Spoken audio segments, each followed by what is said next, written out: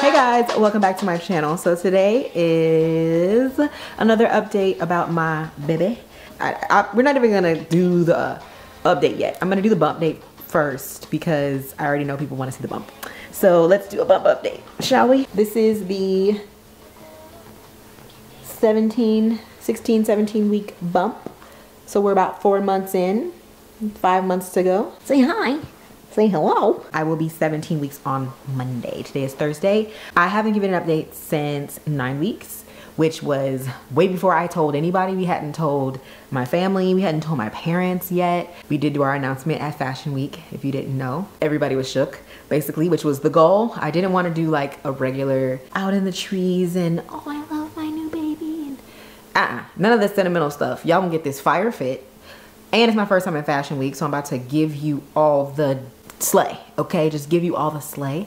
And while I'm slaying, I'm also gonna show the bump. That was the vibe that I was going for. So it was a very last minute plan, but it was a good plan nonetheless. I thought it would be a good PR stunt for me, so coming back to Instagram after being gone for a little while, going to Fashion Week after I've never been, joining a new agency while also announcing a pregnancy it just seemed like a good time. You probably have seen that I am having another Amazon The Drop collection come out. So it's just a lot of great things happening. Just wanted to make sure y'all was up to date. I am currently in my second trimester. So let's get through the end of the first trimester and then I'll go into my second trimester uh, update. Left you guys off at week nine. Week 10, week 10 was when my sense of smell was extremely strong. Not only was my sense of smell heightened to where certain things burn my nose. A lot of you guys were asking, okay, if you don't burn candles, like what do you do? What's a holistic approach? Um, I have a very high-tech Bluetooth aroma diffuser. It's called Aromatech. It's the type of diffuser that a hotel would use, like a HVAC, but smaller. They have the HVACs in hotels, but I have the smaller, just Bluetooth one that stands up. It's about that tall. But it just diffuses the oil without water so that you don't have to keep refilling it with water. And it just diffuses the oil aroma into your home and it smells so good. They have so many different types of scents. It is a more expensive version of a water diffuser where you just put drops of essential oil in it and it uses it that way. But I feel like the um, oil aroma diffusers that just use oil and no water, those have a very strong scent. Well, the flip side to that is that it's a very strong scent. It does leave my house smelling really, really strong, which it's been too strong for me. I've had to turn it down in some sense I don't like, so I had to change the scent in it. Um, I believe I'm going to just go ahead and get rid of the scent that I have in there now. I have fresh air in there and it doesn't smell like fresh air. It smells like you walked into an Abercrombie. It smells like Hollister the dark cave. Thinking I'm gonna switch to Santal because Santal has been the one thing I can actually stand. A lot of Cam's colognes I don't like to this day I still don't like. It started at week 10, but it has not stopped. My sense of smell is still really heightened. The house always smells like feet to me. I actually cut it out of a vlog that I uploaded a couple weeks ago because I figured people would be like, why is her sense of smell heightened? But we were talking about it because I was spraying perfume in the house.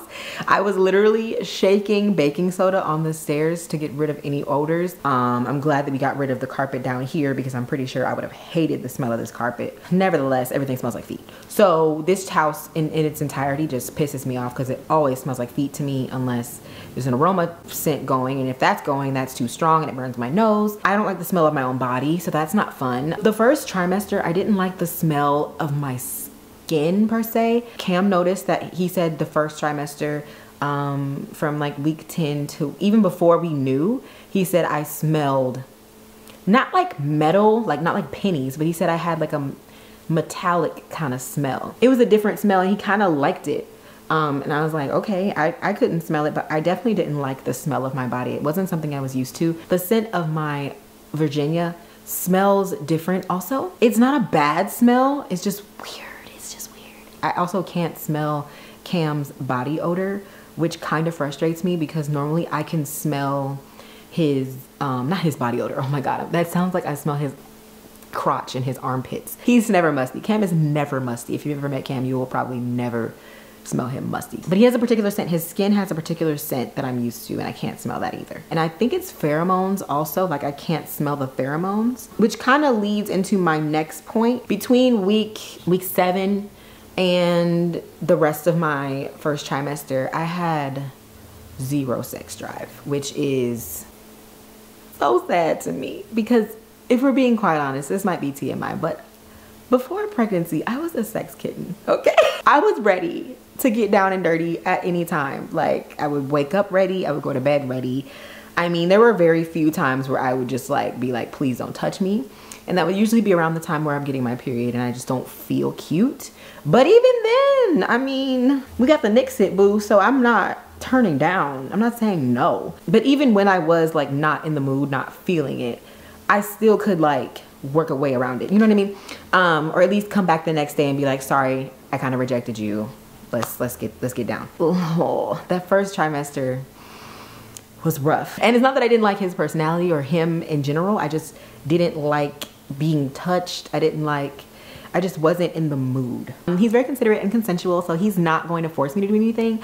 Um, so yes, the last few weeks may have been rough on him. I'm so sorry, babe. But now that I'm in my second trimester, it's getting a little better. I'll get to that later. His colognes that I normally like, I wasn't feeling. Like I said, the only thing that I've really liked on him is Santal by Le Labo. So I'm thinking Santal is just gonna have to be my scent. There are certain scents that I wear normally that I don't like, which is weird. Um, so the scent thing just threw me all the way off. Um, I could smell Gigi, like I could smell everything from her licking herself. Normally I can I can smell it if she's close, but like if she could be like across the room and I could smell her licking herself and all that stuff. I hated it. I couldn't stand to be around her.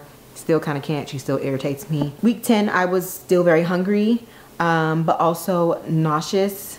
And the nausea would sometimes subside as long as I ate enough. I noticed, I started noticing there was a bad taste in my mouth. My taste wasn't metally. It was more so like a sour taste, like almost like a about to throw up taste, like the taste you get in your mouth when you're about to throw up. That's kind of what I was tasting. It was like overproduction of saliva and just sour. So because of that, I had to keep chewing gum. Kind of distracted me from both the taste in my mouth and the smells that I didn't like if I chewed gum. So I just was chewing a lot of gum or getting Listerine strips and just using those. Brushing my teeth a lot. I was brushing my teeth a lot just to make sure I didn't have any lingering taste in my mouth after I ate stuff. When I was in Texas to visit my family to tell them, um, I ate a lot and I was noticing certain things are making me gassy. Like if I ate a lot of fried food, obviously, um, you know, processed food would probably make me a little more gassy. But I also noticed that healthy food wasn't helping either.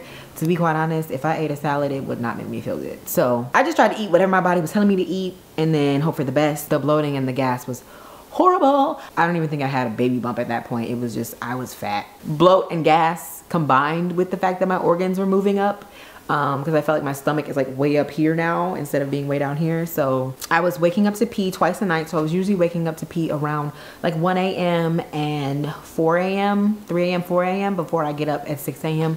and then have to pee again. So I was peeing a lot throughout the night. Um, still sweating a lot, still very hot. Also, week 10, I started noticing that that initial irritation that I was feeling earlier, like around week five, six, um, started just turning into low tolerance for anything. So I was generally in an okay mood until you say something or do something that irritated me. And then I was irritated. And when I was irritated, I wasn't just irritated. I was like, please don't buck because if I nuck, we gonna have a problem. I was coming in the club shaking my dreads. I'm normally not an angry person. Irritated, yes. You know, easily annoyed, sometimes. This is different. This was another level of please don't talk to me or I'll fight you. And it wasn't necessarily like I just didn't want to talk to people. It was like if I knew somebody was going to irritate me, I don't want to talk to them. If I knew somebody was going to say something that might trigger me, I'm not going to talk to them. So I was kind of just like shutting the world out, which is why I wasn't on social media as much during the first trimester because I was trying to avoid any comments that would have pissed me off because I already knew they were going to come. I just wasn't prepared mentally because I would have gone off on them. Week 11, I noticed that not only was I having a weird taste in my mouth just in general um, when I ate things, but it started getting worse with more citrusy things. For me, everything citrusy was making my mouth taste very sour and gross afterwards. So I had to steer clear of lemonade, orange juice, any type of fruit juice, no smoothies, no juices, period. Like I just try to stay away from juice as much as possible. Typically like the super sweet ones were the ones super sweet or super citrusy were the ones that were really throwing me off and I just did not like it. Still didn't like the smell of my body. I could smell my deodorant and I hated the smell of my deodorants, but I could not use any of that uh, natural stuff that ain't got no aluminum in it. Um, my body odor, I don't like smelling myself. So if I can smell my pits, that's not good either. And with the aluminum free deodorants, mm, sometimes they just don't work. It was hard for me to find one that I liked to smell, that I liked the smell of. Um, so when I was at home, I was trying not to wear anything, but if I did go out, like if I had to go to church or something, which is really the only place I was going, because I was not going anywhere. But if I did go out, I was putting on, you know, aluminum deodorants to kind of help. And I didn't like the smell of those. I could smell the chemicals, hated it. So then I just start wearing Cam's Old Spice. Before week 11, my skin was immaculate. Around week 11, I noticed I started getting breakouts. Um, and it wasn't really like in any particular part of the face. It was more so just like I would get little clusters of them. So I would get like maybe three bumps in this area or three bumps on this side or three bumps on this side, three bumps on my chin. I was just getting different breakouts, um, which is not typical for me these days. Normally I don't get breakouts like that anymore. I don't really get acne. So I noticed that that was like something that my body's changing so I get it. I also noticed a little bit of hair growth. Most of y'all know that I had gotten um, laser hair removal on the majority of my body. So I did notice that some of my hair was growing back around my lip. I did notice a little bit of growth on one side and then I've started to see more hairs pop up around my chin. I just got my underarms lasered this year though. So it really hasn't been that long since I started that area. I mean, it was done, I finished my package, but I probably needed to go back for a couple more touch-ups just to finish out that phase. Um, so I have noticed my underarm hair growing back, so I did shave it like a few days ago. My inner thighs, I've been noticing more hair growth. I haven't seen, and this is so great, I haven't seen a ton of hair growth around my bikini area and just the hair around my, my uh, clitoris, my vaginal area, like right in the labia area. That's where I noticed the hair, most hair growth. But as of like the top part and like my stomach, I haven't noticed a lot of hair growth on my stomach. Then around week 12 is where I noticed that my hormones started to calm down and uh, my symptoms started to subside, which was great because I was happy that a lot of the nausea wasn't as bad. Around week 12 was when I noticed that I could feel hunger again. I'm like, oh, I'm hungry. Around week 10, when we went to Texas, I was literally like, I had to eat a pre-breakfast, then a breakfast, then a snack, then lunch, then a snack, then dinner. Week 12, I slowed down to eating more of like three, four meals a day instead of eating five, six meals a day. I was having trouble eating after six or seven o'clock like i could not eat a full meal. Um so if we ate that late i just wouldn't eat or i would eat very very little. I didn't like going to bed super full. I noticed that too. Um if i was super full i would lay down and my stomach would kind of fall to one side. So around week 12 is when i started considering getting a um a pregnancy pillow because i felt like my stomach needed a lift or at least i needed to like shift my body into a more parallel position instead of like leaning into the bed. Because my bed is very like sink in. If you have that feeling or if you feel like your stomach is kind of falling to the side, I don't think it's too early to get a pregnancy pillow. I just was having a hard time sleeping. I had to keep sitting up to burp then laying back down. I noticed a little bit of tailbone pain if I were to like sit down for too long or sit down in the wrong position and not sit up straight, especially on this couch because I tend to lean back and put my feet up like this a lot while I'm watching TV and it's not the best position for my tailbone. Around week 13, um, is when I went to the doctor and got a blood test and urine sample, my first um, doctor's appointment. First of all, I had to find a whole new OBGYN because the one I used to go to, they didn't take self-pay. And if you're an entrepreneur, you know that uh, finding a healthcare plan as an entrepreneur is kind of feels like a scam. So I was trying to find a healthcare plan that I felt like worked for me and we hadn't found one yet. And so when I got pregnant, I was like, oh shoot, I do not have insurance. trying to find somewhere to go was a struggle, but we finally found somewhere that does take self-pay. Um, it's not that close to me though. I don't like their facilities. I'm just gonna be honest. I don't like their facilities they're not super up to date. Their technology is not that great. Um, the first ultrasound that I had was on a really old machine that was very hard to see the baby. We went back to the place that we went to to see the baby for the first time. They take you in really quickly. They take like 50 pictures, send you all the pictures. You pay like $10 for all the pictures. They gave me an update. They gave me a real update that my doctor didn't give me. Um, you have to see the baby move around and move its arms and legs. I mean, we just had a whole time. Um, and we just went for a wellness check and it was like 50 bucks. Whereas we went to the actual doctor and they showed me nothing. They were just like, oh, here's your baby. Here's the heartbeat. There's only one. Yay. What was the point in that? And we're paying how much for that? Crazy. So I'm not really sold so far on where I'm going. I'm not sure if I'm going to stay there. I would love to do more of a holistic approach to the birth. I haven't figured out exactly if I'm going to do that yet. By the time y'all watch this video, I should have figured it out. My actual insurance through my company that I had to set up um, will be set up by then as as well so I have more options of where I can go. The places that are close to me would only take certain types of insurance so I had to get that type of insurance to be in order to go to those hospitals. But the hospitals around me are nice. I should be able to do a low risk birth which means I can pretty much do all natural. I don't want to get induced. I don't want to have to do a C-section, all those things. Of course, obviously, if I have to, I will. If things go wrong, if there is some kind of complication, of course I have to do that. Um, so I do want the option of being close to a hospital to where I can get that stuff done if I need it. But I also want to try to do it my way. I'm also not super sold on doing a home birth. Don't really like the sound of it. I'd rather be in a facility or somewhere where I'm not at home. And so I'm still working on finding care for that and finding out what I'm gonna do, what my plan is. Um, but we're getting there. I had my first blood test and my urine sample. I looked over my blood work and everything. Everything looked really good. My HCG levels were really high, which was good. This is why I'm so happy that I did the holistic approach when I was taking my blood tests and stuff prior, because now I know how to read them. Um, so I can kind of see like, oh, I'm low in this, that means this. Most of the things that my blood is low in contribute to a lot of the cravings that I've been having. Like, um, I know for me, I crave oysters a lot, which makes me so sad because I love oysters. And so I noticed on my blood test that I'm low in zinc and um, my vitamin D is low, things like that. And so when I crave oysters, I'm like, I know exactly what that is. I'm low in vitamin D, I'm low in zinc. Um, but I can't eat oysters raw. I can eat them cooked, can't eat them raw. But I like them raw. I like the juice. Week 14, my symptoms were pretty much mellowed out. Like I was feeling a lot better. Um, no more extreme hunger or nausea at all. Like I could wake up and wait a couple hours before eating and not feel like I'm going to vomit much more energy. I was talking a lot, like I had a lot to say. Still very vocal, still very sassy. I noticed my sex drive slowly coming back. I told Cam one day, I was like, I feel like I like you again. not as much as I used to, like I'm still not pouncing. If he makes advances, I don't push him away. So just feeling more social in general. When I planned to do New York Fashion Week, I wasn't like cringing at the thought of it. I actually was kind of excited to go because I felt like I needed some time to get to just be around people in general. The only thing that I noticed that was different about my body during week 14, I noticed like little bumps and it wasn't like anything crazy. Like it wasn't like acne or pimples that were like really big.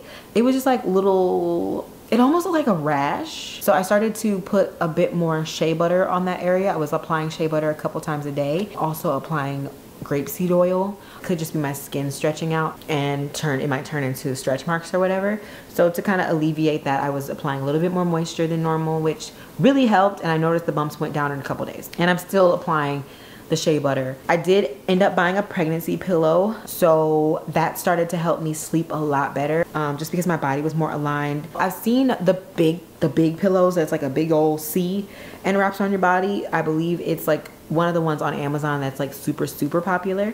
I decided against that one only because I didn't want it to be too big. We don't have a king size bed, we have a queen and I didn't want it to take up the entire bed. I also saw that the Frida Mom one was a cooling one and it was made with like those beads um, on the inside. So I got that one because I needed something cooling and I needed something that wasn't gonna take up the whole bed. And I like that it's just one long pillow and I can twist it however I want to make the shape that I want. So that when I switch sides, I don't have to like flip the whole pillow over, you know what I mean? So I love the Frida Mom pillow. I got it from Amazon. I'll be sure to link it in my Amazon store if you guys wanna check it out um, because I really like that pillow. I think it's really working for me. The first night that I got it, Cam was like, all over it. He's like, ooh, I need one of these for me. And I'm like, give me my pillow. Um, but I love it. It feels like one of those neck pillows that you have for like the airport. Um, but that has been helping me sleep a lot better. My aversion to sweet citrusy things kind of went away and I started wanting smoothies almost immediately. I don't know what happened. It's just all of a sudden Cam was gone and I was like, I need a smoothie. Um, I got one with berries and stuff in it because I wanted to like kind of steer clear of like any citrusy things. And I was, just, I guzzled that thing down so quick. It was like the big old one too. And I was just like,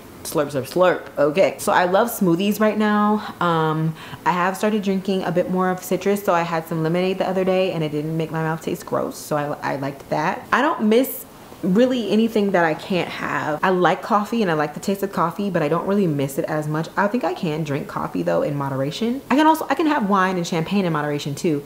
I just don't want it. Even though I did, you know, develop my barista and bartending skills, um, I just don't miss that at all. The only thing I miss is oysters and sushi. I miss sushi as well, but mostly oysters. I'm in week 16 now. I think my, my symptoms are the same um not symptoms but just what i've noticed. Everything is kind of the same. My stomach is getting a little bit bigger. I can't really fit my clothes. Before fashion week when i was shopping i was so frustrated because i can't fit any of my pants anymore. I also feel like i've gained a little bit of weight around my rib cage area because some of the tops that normally i could wear like crop tops and things i can't button them. So yeah, I'm definitely not an extra, extra small anymore. I'll tell you that. Um, the last two times that I've been to the doctor and they weighed me, I was 126 pounds. So during the first trimester, I gained about 15 pounds because I had lost weight before I got pregnant. Around the time of the Amazon drop, I was about 110, 111, I think. And so now I'm 126. So I gained about 15 pounds. Normally when I am at a healthy weight, I'm around 115. It's not terrible. I haven't gained any more weight since then. Both of my appointments, I was the same weight. So I don't think I've gained any weight other than the initial, like just carrying weight. I don't really feel bigger anywhere else but my boobs and my stomach. Um, when I don't have a bra on, my boobs touch the top of my stomach and that feels so weird. My feet are a little, they're a little bit plump. A lot of my shoes are very uncomfortable right now. My feet swell up easier. So I had to wear Cam's shoes home from New York because my Converse were not cutting it. I'm probably gonna have to just get some New Balance and Hoka's and just wear New Balance and Hoka's for the rest of this pregnancy. I need all the arch support and I need my feet to be comfortable, okay? Probably get some more Ugg boots. In New York, I wore heels back to back and my feet were done. Uh, I was sitting down every chance I got because I was just like, whew, girl. I hadn't worn heels in so long, so it was just like, this is bad. One of the first things that I noticed, a lot of people said that my face gave it away. Um, which is how they knew that I was pregnant because they're like, your face definitely gave it away because I was definitely looking more fuller in the face very early on. I think actually around week nine and 10 is where I noticed my face was filling out a lot. Definitely had like a glow about me before then, but then all of a sudden my face was not swollen. It's just you could see my cheeks filling out.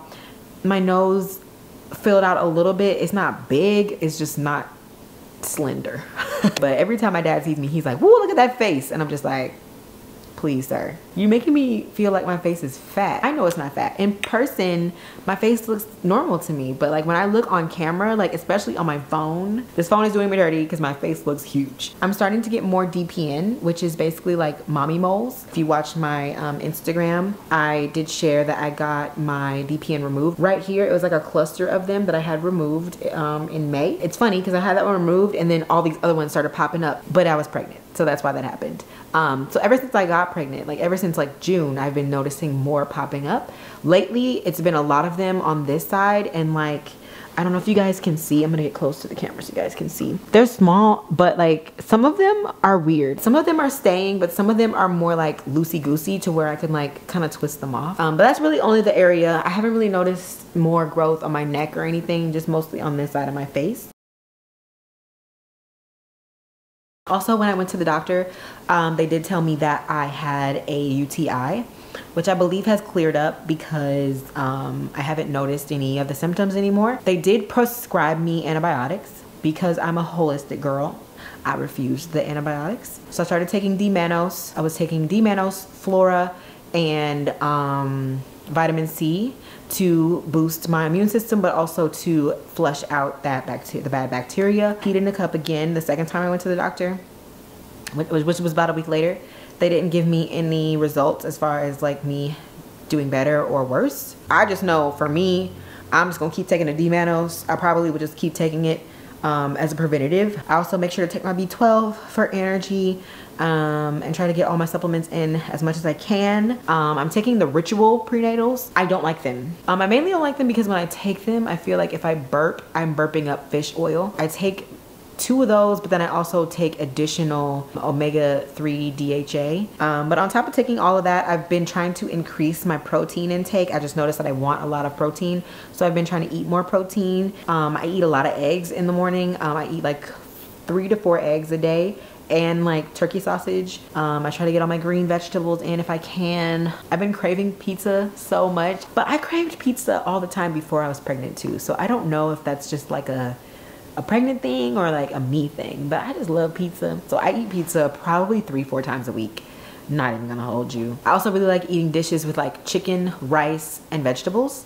Um, so I love like, I'll be craving like Benihana, um, like a whole Benihana hibachi chicken meal with like the chicken and the soup and the veggies. Um, I had a po' boy today. It was divine, but everything sounds good. I don't really have cravings. It's more so just, I wanna eat and I want to eat good and I want to eat a lot of it. When we were in New York, I was just like, let's eat all the foods. Like I want some pizza, I want some Thai food. You know, I want to get me a, a chopped cheese. Those that I wanted to try the chopped cheese the Aki way with the mozzarella sticks on it and everything. Like I was gonna go ham on that. So next time I go back to New York, gotta get a chopped cheese. I've also noticed that I've been wanting like soul food too, like especially greens, which I've never been a greens, like a collard greens girl, but I've been wanting greens. Meat, greens, macaroni and cheese and if I get it, I'm happy. I'm a happy girl. Not really heavy on the sweet stuff. Like I noticed that during this entire pregnancy so far. If I do want sweets, I want bread. So like a donut. I think we are at the point now where I can find out what the gender of the baby is. You guys are gonna hate me. I'm not doing a gender reveal. I'm not gonna tell y'all what the baby is. I wanna keep it a surprise.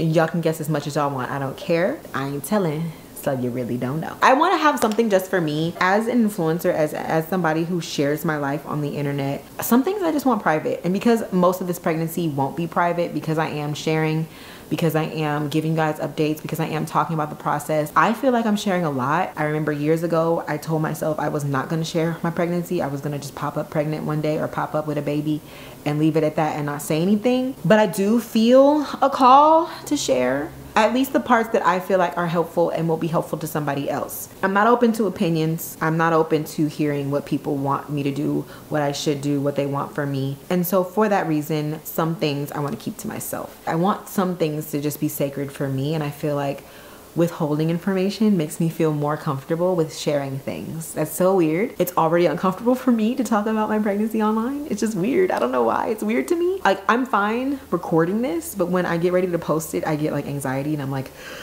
I'm sharing a lot. I'm talking a lot. I'm sharing too much. I'm doing too much. So the gender will be sacred and it will be for me and my husband to know and nobody else. And that's that on that. And you can find me on if you want to. I don't care. So that's all for this update, I believe. I think I covered everything. If not, um, let me know if I missed something. But I will be like doing some videos here and there of me like just talking about things. Just let me know what you guys want to see and I will definitely get to it. Also be sure to stay tuned because I'm going to be talking more about my Amazon drop on Instagram. So if you guys want to be a part of the process of me creating my Amazon drop collection this time around, be sure to check that out on Instagram. And yeah, that's it. I don't think I have anything else to say. So I'll talk to you guys in my next video. I'll see y'all later. Bye.